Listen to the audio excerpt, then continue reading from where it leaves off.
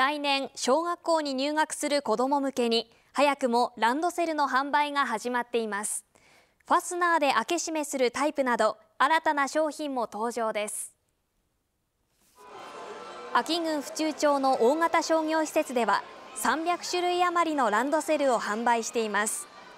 今日から3日間はランドセルフェスとして限定デザインも並びます。今年から種類を増やしているのはファスナーで開け閉めするタイプ。780g と軽く背負いやすさを重視しています。自分たちの時代ではなかったものなのでどうなんだろうなっていうちょっとまあ興味もありつつ軽めだったりまあ価格帯で言ったら安いでありがたかったり。軽いランドセル